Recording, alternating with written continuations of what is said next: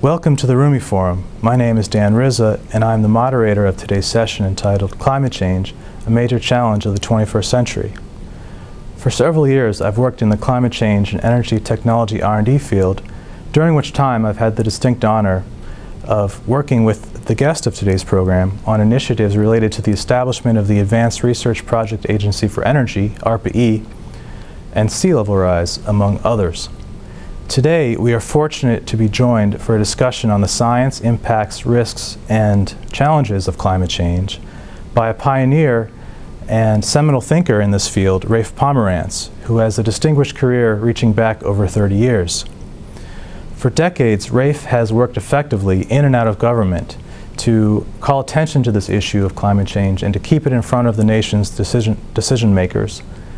Um, from 1993 to 1999, Rafe served as Deputy Assistant Secretary of State uh, and previous to that, he served as president of Friends of the Earth, as a senior associate at World Resources Institute, and as chairman of the League of Conservation Voters.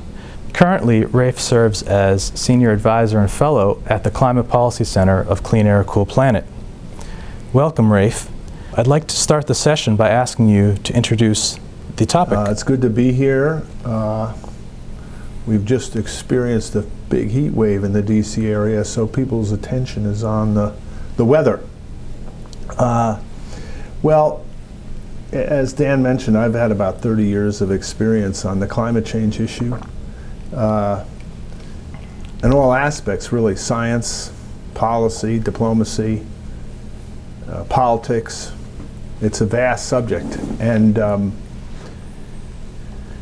uh, where to start? Well, uh, let me put it this way. human beings have their hand on the thermostat of the Earth. We control the, the planet's temperature now. And the way we do that is by changing the composition of the atmosphere.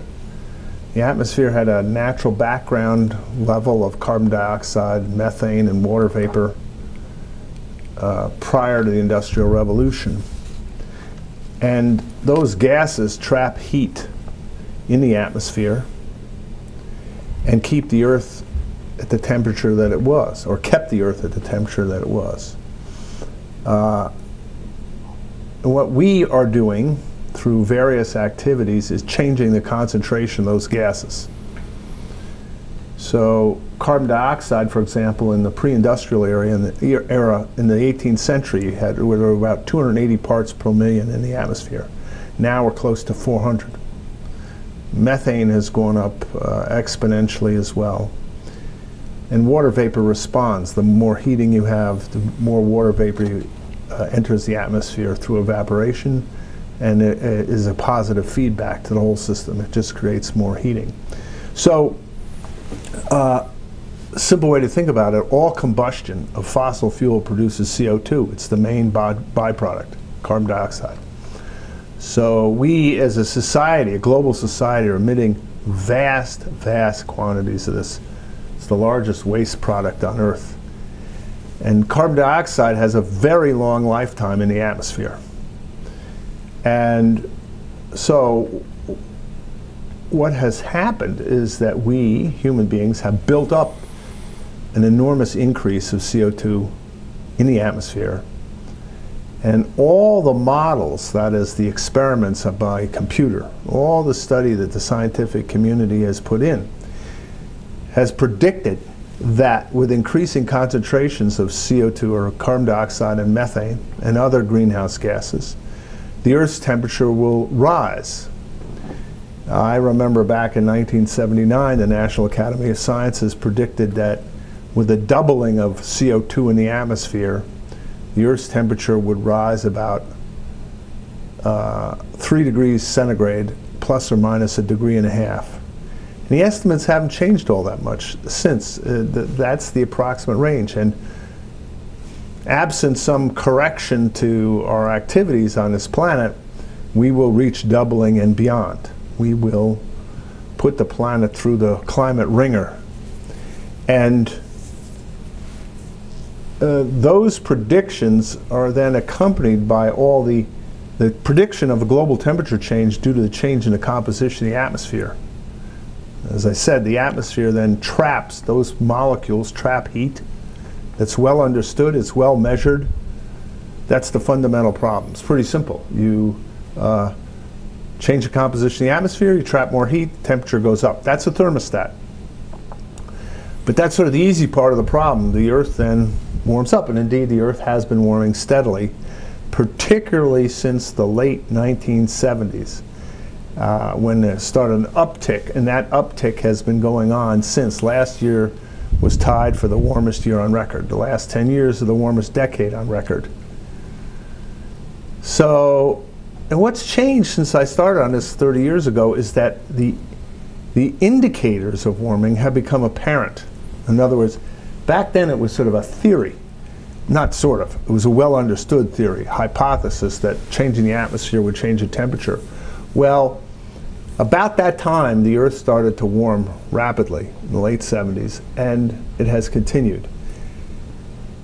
Some people think it's natural variability. Well, if it was natural variability to expect the temperature to fall back to sort of the average of the past 100 years or something, that hasn't happened. Uh, and in fact, the warming is consistent with the prediction. So, uh, just to say one more word about this thermostat. So, you put the, the gases in the atmosphere, and then they trigger feedbacks. I mentioned one important one more water vapor. That's a greenhouse gas. So, you, put, you heat things up, you get more water vapor, warms things further. You melt ice and snow.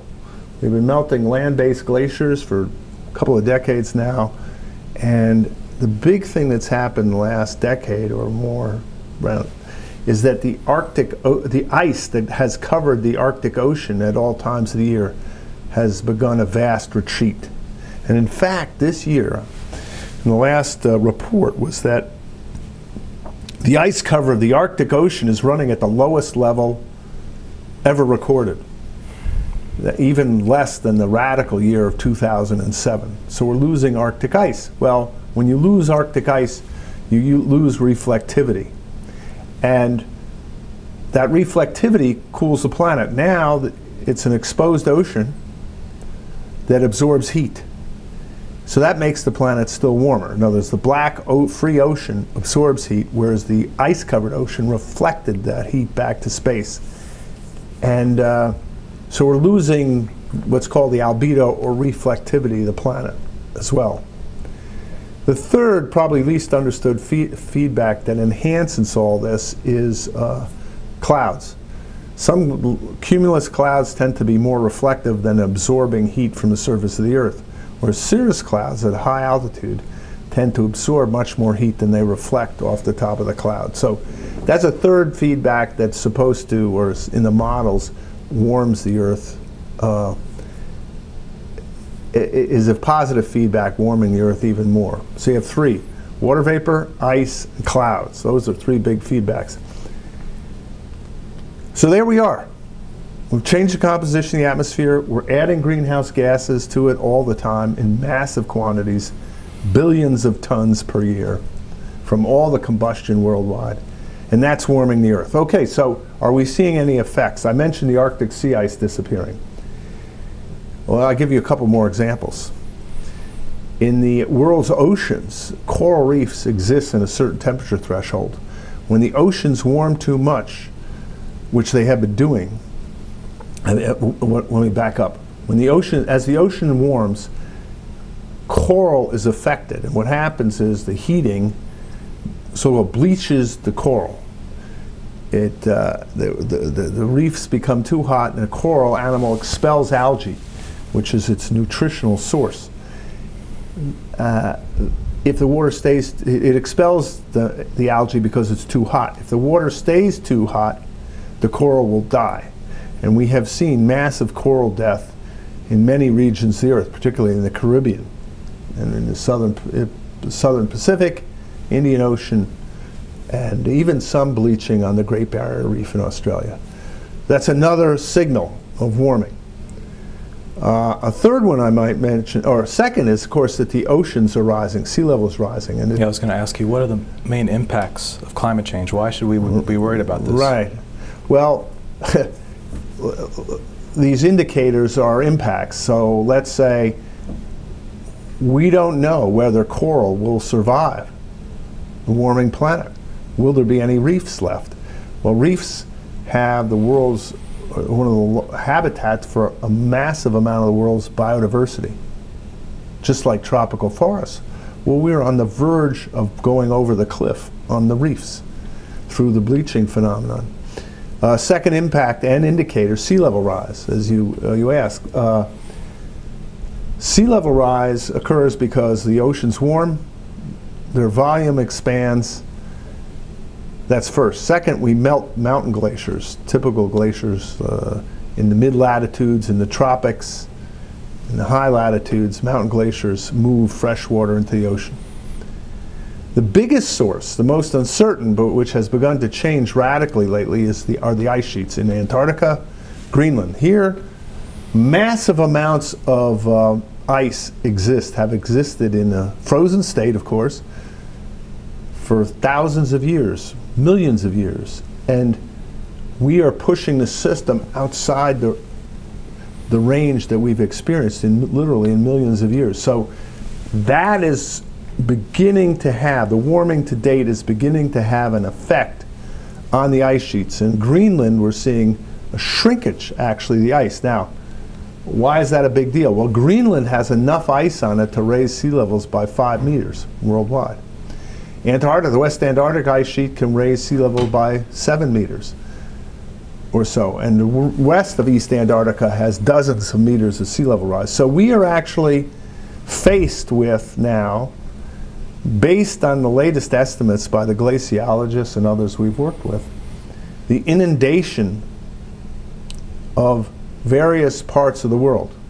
Which parts? Uh, well, US? any place that's low lying is, uh, is uh, at risk. And to give you examples here at home in the United States, uh, we've done a lot of work on uh, East Coast uh, situation.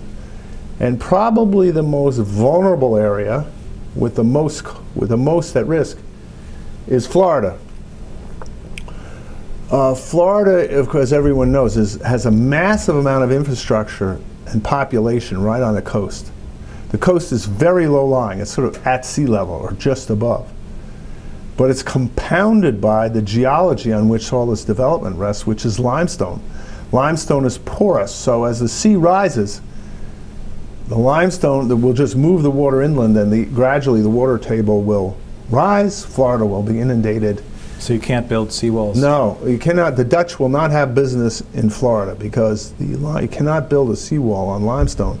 That means you can't build a seawall around Miami or Tampa or St. Petersburg uh, or Fort Lauderdale. So the, Florida and many other areas of the East Coast are at risk, different impacts depending on the geology and on the infrastructure systems. But we are now looking at, most estimates have a, a, a meter of sea level rise, more than three feet by the end of the century. And it, the ocean has begun to rise more rapidly, and you can see lots of effects even at small amounts of sea, the few inches we've seen so far. So if we don't act and we don't bring a halt to this, the sea level rise problem will just continue. Well, maybe this is a good time to ask you what are some of the, the policy issues surrounding this issue? Um, right. yeah, I can't think of, uh, you're one of the best people, I think, to talk about this because of your long career in this um, area. So yeah. uh, maybe you can give us some insight in, into where we right. have been, where we are. Just, just before we get into that, let me just say a, a word about uh, two more impacts, and then okay, we'll go to the very policy. Good. One is um, we are seeing now massive dieback of the forests in the Rocky Mountains. Massive. Millions of acres of forests are dying. They're dying because the winters are too warm, and uh, that has triggered a proliferation of a, of a something called pine bark beetle and other bark beetles or other beetles in the, in the, that kill trees because they're not killed by the cold winter. And uh, this is a profound change in the ecology of the West.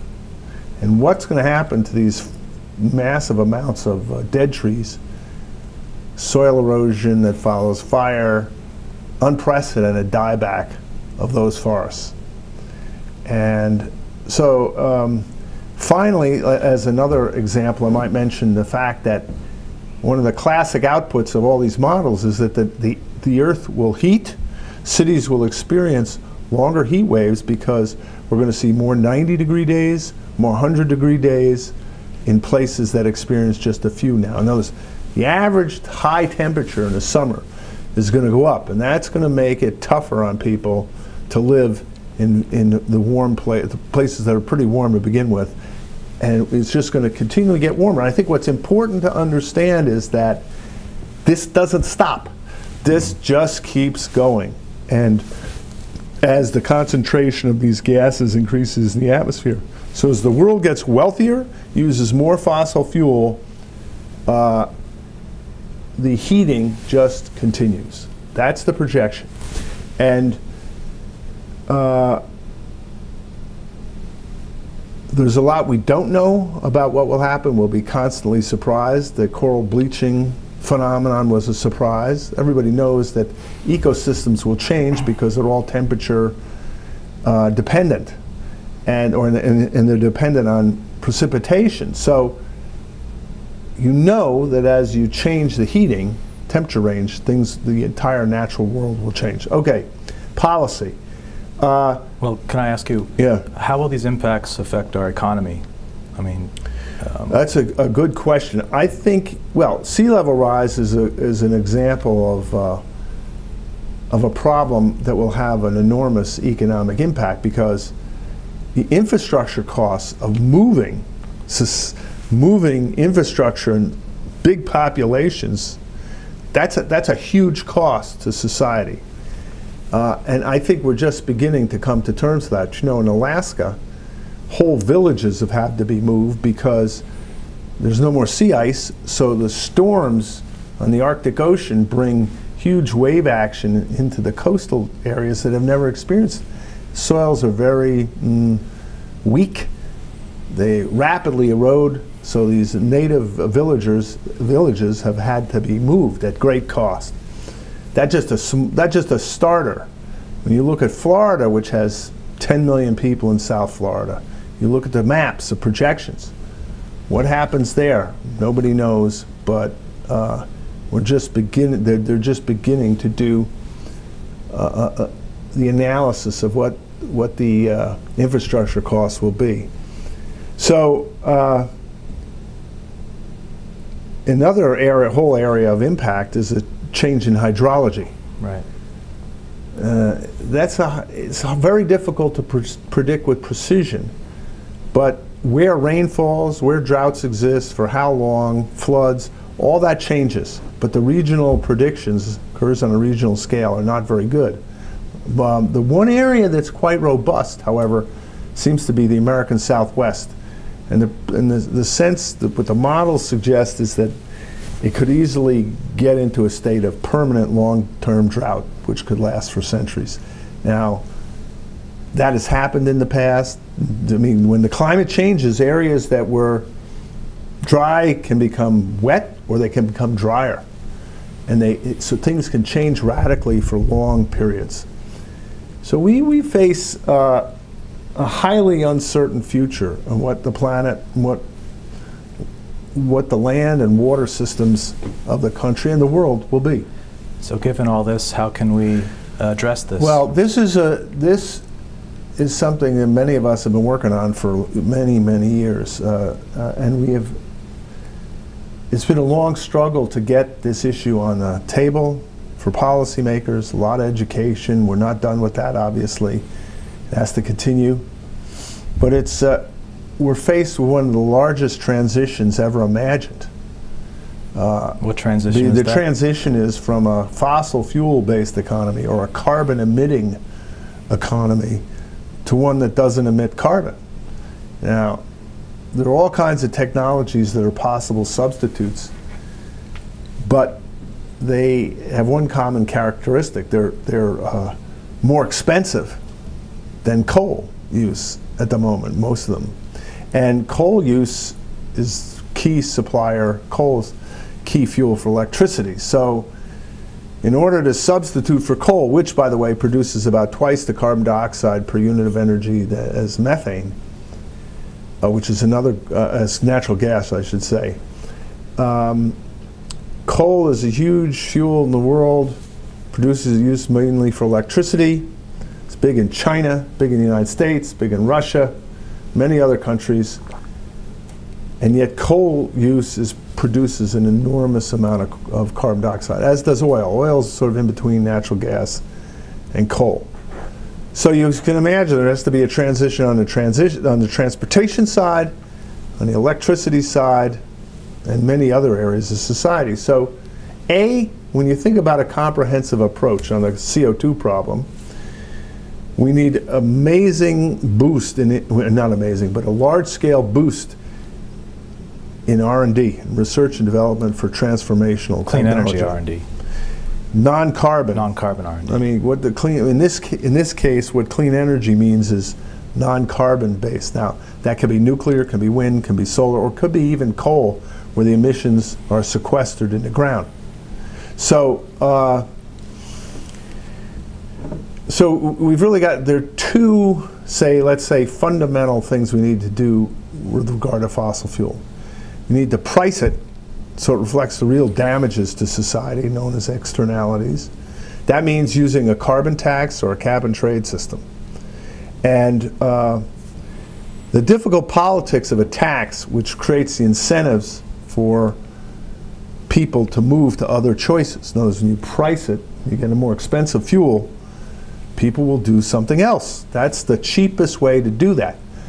But right now in our society, there are many political leaders who say no new taxes of any kind. Well, we need to use energy pricing as a response to climate change. So we have to get used to the idea that we have to spend more on energy.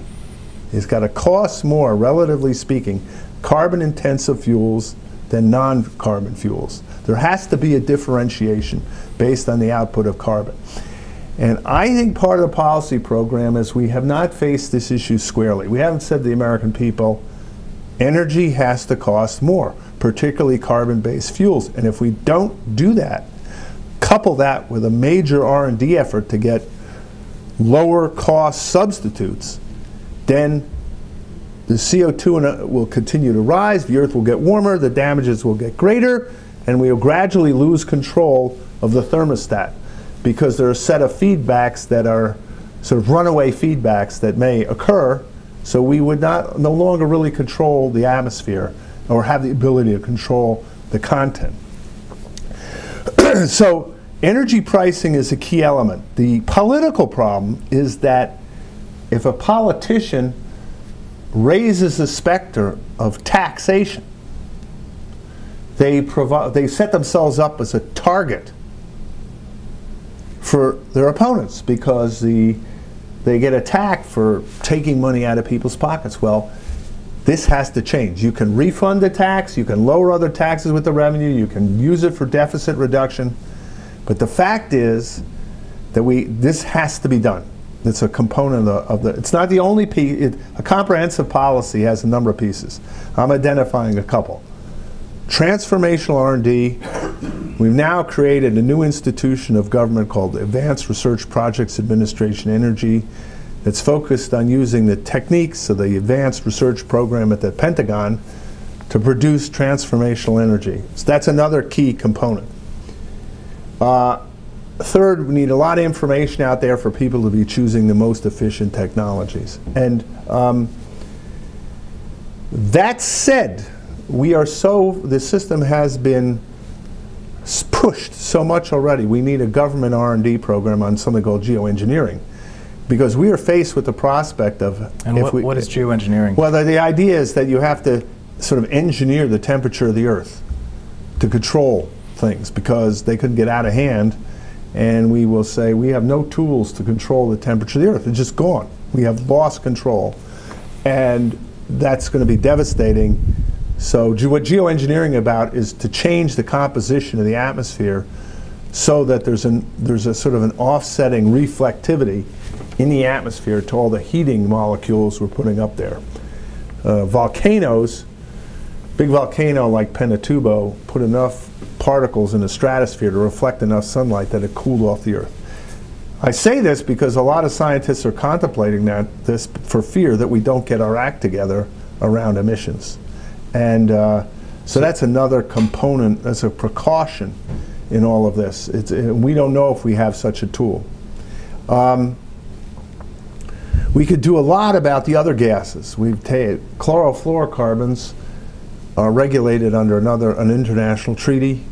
They are powerful greenhouse gas used for many industrial and ho uh, household uses.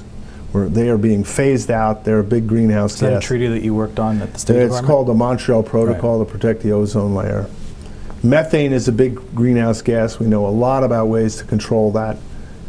This is a problem on which the global, so- global society has to be mobilized. The issue right now is you've got the sovereign debt crisis in the world, in Europe, in the United States. Or ours is not called a sovereign debt crisis. We have the debt crisis. We have um, two wars. We have you know, the revolutions in North Africa. There's a lot to kind of divert the attention of policymakers to, and, and the world. Unfortunately, we have to stay with this and at it in order to turn, Right. change course. It seems to me that this is an issue that um, the longer we wait, the harder it is to. Yeah, to and that's where we we have gotten. Right. You know, people keep saying, "Oh, there's time. There's time. We're at the end, but there's still time." Well, we've already begun to experience impacts. The bleaching of coral is just one. Sea level rise is another. You know, down in Florida, they drain the central part of the state through a system of canals. The freshwater falls and the tropical storms and the floods the central part of the state. They drain it through freshwater canals that, by gravity. Uh-huh. It's a massive system. I think it's 20,000 miles. Well, as sea level rises, the, gr- the, the flow, it doesn't work. Or it will stop working. The, the drainage system of Florida stops. So they're contemplating in Broward County, where Fort Lauderdale is, of building these massive pumps to pump the water out into the Atlantic Ocean. So we're seeing effects. The Rocky Mountain forest death. So it's, it, it's wrong to say we've got time. We're already in it. We are already in it. And the question is, how do we cut it off before there is uh, too much uh, damage or before the whole thing gets away with us, away from us because, uh, for example, in the Arctic, massive amounts of carbon in the form of, well, carbon and methane are stored. And as the Arctic warms, those, uh, the vast amount of that carbon can be released into the atmosphere as either methane or CO2, which will create a kind of an uncontrollable positive feedback. Feedback, right. And uh, it's that kind of thing, you know, you could stay up nights if you wanted to. Uh, but so we have to be busy with this, very busy, very intent, and it's a tough problem because carbon fuels are key to the world's economy. And you, so you, get- that's why you have to have the substitutes, more substitutes, pricing. You need the tools Right. to. So, because the the economic element is so important in everyday politics nowadays and on the minds Yeah. of everyone, could you talk a little bit about what happened during the whole cap and trade debate the past few years? Yeah. Um, and perhaps some. Uh, you've already mentioned some of the economic mechanisms that we Right. need to move forward, but what what was learned and and um, how do we create momentum? how do we Well, bring as uh, most people know, last year we had a massive debate in the Congress about this. Uh, the president backed something called a cap and trade program. A version of it passed the House. Nothing happened in the Senate. It crashed, and I think it set back the issue of a substantial U.S. policy for a number of years, at least. And um, I would say the first thing is that any, sorry. How, how, how can we bring in, it seems to me that there are lots of political players across the spectrum, and how can we bring them all together? Yeah, well, that's what I was going to say. The first thing that has to happen is that there has to, what has to develop is a bipartisan leadership core. Can't do this issue as a Dem- the last two big initiatives have been basically Democratic. Doesn't work because the Republicans resist because it's the Democrats and because energy pricing has been involved. I speak of the BTU tax back in 93 and the cap and trade program. So the Democrats cannot walk out on this by themselves. Republicans have to embrace the issue and become leaders. Many of us who've been working on this have tried to invoke the use of market mechanisms which are the most efficient to reduce emissions. And it, I would say simply, you could go on for hours about the cap and trade mm. debate. The problem of partisanship or lack of bipartisan support was key. I think the bill became too complicated and potentially costly. There's another problem in the House. Uh, I think the White House did not guide the process sufficiently in terms of the details of the architecture. But I think fundamentally, a lot of the senators hadn't embraced the issue sufficiently to make major national policy. So we have a lot of work to do still. Understood. Well, if it's okay with you, I think I'm going to open up uh, the floor for questions and see if Good. people in our audience have questions for yeah. Rafe. Right here. My name is um, uh, Ziad Al Um, I'm an energy specialist and former director of operations at the World Bank. Huh. Um, excellent. Uh, I, I, like what you have raised.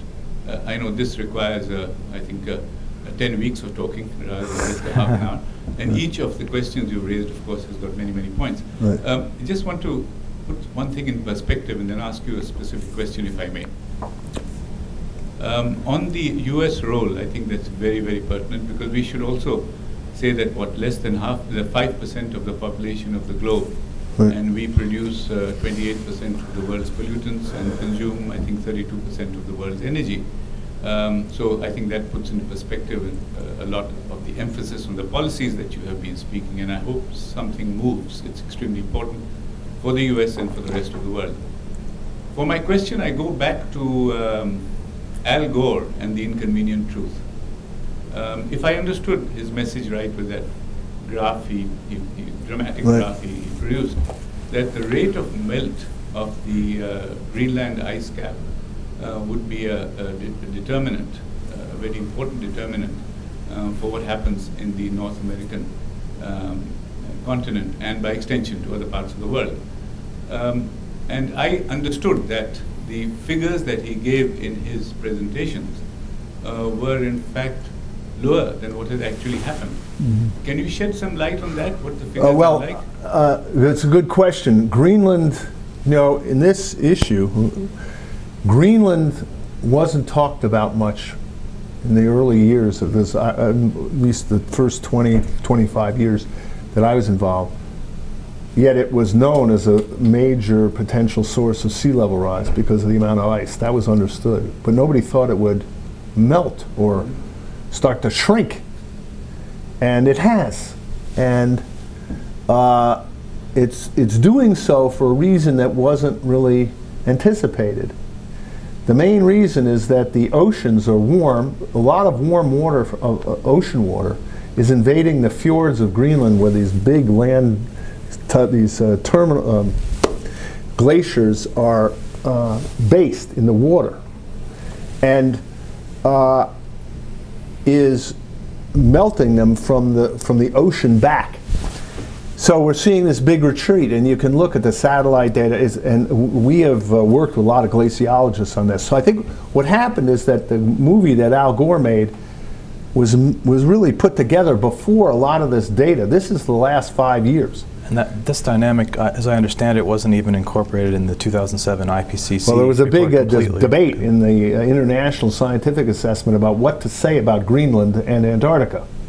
Well, now the glaciologists are out there observing massive changes to both places. And the issue of understanding the role of the ocean, the warmer ocean, is critical. So, uh, most of the analysts now I don't know that there's a consensus. I just say most think that because of the enhanced contribution to sea level rise from the ice sheets, that we're going to get a meter, say, instead of half a meter by the end of the century, and then it continues. So there has been a dramatic change to the behavior of the ice sheets, and I actually think that that is a, it has to be understood. It has consequences not just in the U.S., but the whole world. And uh, right now, the United, just back to your first part of the question about U.S. policy, I, could, I might differ with you about how much of the world's carbon we're emitting. It's still, we're second to the Chinese now, but still, it's huge. Doesn't really matter. we, our hands are tied. When the United States goes to international negotiations, I mean, we can help create a better process. We have great ideas, but we have no substantial domestic authority to control emissions. The Clean Air Act, yes, we could control, but that's marginal. It's not well designed for controlling carbon emissions. So our negotiators have very little room because we have learned you cannot commit internationally until you have domestic authority in advance. That's the problem. We in the United States do not have the political will yet to make a major dent in the problem. We've sort of we've worked on the edges. We've gotten a long way in terms of education, debate. You know, the Capitol Hill, they probably had a thousand hearings on this subject, but it hasn't amounted to a real policy yet. Great. Are there any other questions? Okay, right here. Hello, I'm, I'm Denton Baird. I'm a student at Davidson College. I was wondering, um, you talked a little bit about transitions, and I think one of the major transitions we're seeing these past several decades have been the transition from developing countries to developed countries. Um, and as we know, that contributes significantly to um, carbon emissions. Mm-hmm. How can the U.S., because um, you said domestic change wasn't really uh, a, a useful tool at this point, how do you think we can reconcile those priorities? Well, I think there are a couple ways that we can work with uh, developing. Oh, we do a lot of work in the developing world on this, through USAID, through the Environmental Protection Agency, and others. I would say there are a couple ways we can we can be particularly effective. One is uh, through the sharing of of helping to build capacity for policy making in other countries. You know, in order to make policy, regulations, pricing, whatever, you got to have the capacity, the people to do that, the understanding, the systems internally. I mean, if you want to regulate emissions in Vietnam or India or wherever, they got to have the governance to do that, and, and they kind of they may or they may not. I'm not an expert in this, so capacity building is one thing. The second thing is creating financial incentives for the world's corporations and businesses to, to, to do the right kinds of projects in the developing world. And that was in the Kyoto Protocol. There was a major instrument developed called the Clean Development Mechanism, which essentially gave credit to developed countries that did emission reductions in developing countries. That's a thing. The third thing that can be done is to lower the, the trade barriers. That has to happen in those countries and for the transfer and trade in low emissions technology. The tariff system on many technologies is a uh, is a disincentive. And the R&D business I talked about, transformational R&D, the development of substitutes that can be traded and sold globally is key. So. Thank you. Um, other questions? Given that our policy is based upon faith-based economics, and increasingly money from American corporations dominates American elections, and American corporations, more than those in most of the world, have a very short-term view of the need to make profits how is it conceivable that any of what you're talking about is going to happen before an awful lot of awful stuff happens? It would seem that you're going to have to see Lake Okeechobee join the Atlantic before there'll be any action. It, uh, the things you've mentioned from the pine bark beetles to the glaciers to the sea level rise and the coral reefs, everybody's noticed that. And it's all poo-pooed by uh, radio talk show hosts. How is it conceivable to you that the United States, how can we guide Vietnam when we can't make policy ourselves? Well, it's a great question, and we're struggling with that now. Uh, I, I, think that those of us who, we, uh, uh our side of the issue, the proponents of action, have to be much better organized. No question. We failed. The, the failed in the Congress. I think they could have, that there was some overreach on the side of people wanted something to get done, but uh, this is a political question now. And I mean, if the science is robust, it's certainly robust enough to say there's massive risk. And the evidence is mounting that that, that, that risk is there. Uh, well, I've already sort of uh, dealt with that. I don't know the answer to your question other than we have to build. of ignoring such- Pardon? We have a solid and enduring record of ignoring such science. Well, here we are. Uh, we're six days away from uh, default in the country. It, it, it, everybody knows that there's a massive cost to doing this, catastrophic cost potentially. Uh, and yet we're only six days away. So we got a governance problem here. Uh, we and uh, we so uh, well wait the debt the, but the debt problem has mounted over time. So the can got kicked down the road. That's what we're doing on this. And but the problem with this is you can't the, you cannot turn the corner quickly. It takes a long time. So we have a problem, and you have to. The only response is to say that the, pe- the people who understand this and care about it have to be better organized. That's the simple answer. It's a political question. You have to out organize the other side. One more question? Hi, I'm Cynthia Butler, I'm an attorney here. But I'm, I'm wondering, are there any good bipartisan nonprofits that you work with that you would hold up as models that could be interfacing with Congress in a more effective way? Had they more funding or better leadership? Well, our, our, our, our uh, nonprofit, Clean Air, Cool Planet, and the Climate Policy Center, piece of that, we're bipartisan, working with uh, both parties. We produced a bipartisan bill in the House uh, known as the Udall-Petri bill several years ago that was a cap and trade bill that actually had a lot of very fine, it was a good, but it was seen as too weak by the left. And uh, so it, it never went anywhere. Um, the Bipartisan Policy Center worked on a bipartisan basis for this. Uh, I think everybody now who, who, there's a lot of recognition that we have to do this in a bipartisan way. You cannot bring policy on this subject to the floor, a significant policy of either body, without Republican leadership. The incentive is not there for Democrats to do that because they get either clobbered or defeat beat. You got to show people there's a winning way. That means you have to persuade. Repu- You know, it was a few years ago. John McCain was a major leader on this issue. Our group worked with him in New Hampshire when he was running for president. And he was terrific on the subject of climate change. But he's disappeared from the issue. In part because part of the Republican Party has become uh, denialists. They don't claim that it's, it's claiming, literally claim the issue is a fiction.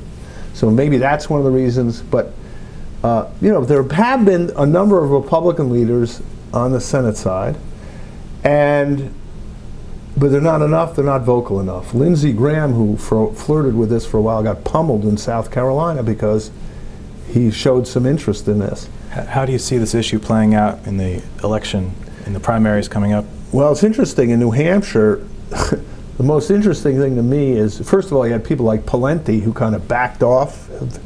He did a lot when he was governor of Minnesota, but because of the Republican base, at the moment he thinks he has to back off. Mitt Romney, on the other hand, said, "This is for real. I'm not going away from this. This is a real problem." So he decided not to move to a more skeptical position. Interesting. Um, Any other questions in the audience? You know, one of the things you said uh, in, in your earlier presentation uh, about R&D and R&D. Uh, Yeah. And I think that's uh, very pertinent. The moment you put in more money into R&D, um, your scientists get at it, and you get a you get a response to the to the policies. Um, and also, we've seen this uh, in the past that if you look at the if you plot a curve of uh, the cost per kilowatt hour generated by so, uh, solar cells, photovoltaics here, um, you will find that the graph declines at a time when there's a perception that oil is running out. That's when the money flows actually towards R&D in these areas. So there's a track record of that kind of response. So for the future, going ahead, this becomes an extremely important uh, subject. Now, you, you mentioned China, we talked about, about China and, and the US. China, of course, has over a billion people, and the US has one third. Uh, I understand China is putting in a lot more into R&D research in terms of absolute number of dollars uh, than the US is. Uh, and I think uh, here's where you have perhaps the biggest brains waiting to do their bit. Right. Um, again, I, I do understand the political situation and what's driving it. And one has to go back to Obama's first budget, in which he allocated a substantial amount for R&D, Right, yep. which is very critical, I Right. must say. Um, it kind of fizzled out. Um, again, I s- understand the issues which are facing the country today, but is there any hope of reversal, specifically on R&D, not the other aspects, uh, of getting into that area? Because Well, without R- that, R and D should be the easiest thing to do politically. So I, so I say yes. except that there's a part of the governing party in the House of Representatives that is targeting climate-related expenditures. And uh, um, plus, probably more importantly, is the that the, the, the deficit and debt issues are driving a contraction of what's called discretionary spending. Non-entitlements, uh, you know, not the Pentagon, not Medicare, not Social Security, um, and the problem we're faced with, the discretionary is this very small piece of the budget, but it's where all the R&D is, and it's the easiest target, you know, and yet it may be the most important in a certain way. And I'm very worried about the future, and yet R&D is also seen as critical to the future of the U.S. economy and innovation and its our performance. So you would hope that that would be protected and nurtured. R&D is part of the future, and we absolutely have to have a massive effort here to find these substitute technologies. We should be leaving no stone unturned. It, it is it is a a top global national priority, not just for the future of the economy, but the the planet itself. We've got to get out of the carbon cycle problem, and uh, R&D is a pillar of that. Can I ask you, Rafe, what's the role of government in this R&D? Well, the, our government is the fact is the private sector cannot do or does not do, by its nature, much upstream, highly uh, risky R&D, very fundamental. That's the job of the government. That's why the gov- we helped to create the Advanced Research Projects Administration Energy, and uh, that's a government role. That's at least that's what all the economists say. You know, all the analysts say the government's key role is in R&D, that uh, and uh, and to drive it through uh, in- incentives as well, like pricing. But but it's worrisome because a lot of politicians don't understand a the greenhouse global warming problem or don't want to understand it, and the role that R&D plays in that. So, you know, the last couple of years have been very. Mm, uh, there's a lot of people got discouraged because the emergence of this denialist camp and its seeming success and the easiest thing to get a consensus around is r&d so maybe that's a place where we have to start over again to, to move forward Well, you, you do see it parallels to um, what happened with uh, after Sputnik was launched and DARPA and space race. yeah but sputnik was uh, competition right. It's Cold War, fear of the Russians drove uh, our response. You know, part of our response, I believe, was that President Eisenhower told the Pentagon, you will do what is known as DARPA. Because all the services, the Navy, the Army, the Air Force, didn't want it because it threatened their, their uh, turf. And yet they established the Defense Advanced Research Projects Administration, And you see which may be the government's most, internet, Right. the It uh, stimulated the economy. well, yeah, but it, and it produced some of these magnificent technologies that uh, are either used by the military or by society as a whole. uh, another question in the back. I was going to say, by that, I'm sure everybody here knows that 20%, you know, that discretionary budget spending area is 20% is uh, practically the whole government, except for, except for, um, not just, it's not just R and D, it's, it's, it's like all the essential Right, functions it's of government State practically, you know. Department, it's diplomacy. agriculture, I mean, everything, you Yeah. know. But uh, want to say as far as like governance, whenever I have a question, but as far as governance goes, one of the things that really interesting thing that's happened in recent years is that, like a very ancient truth has come out, which is that all democracies and all republics seem to have to carry two huge, huge burdens always. Which one is that the elites want to take over, they don't want 80, 90% of the power, they want 100%.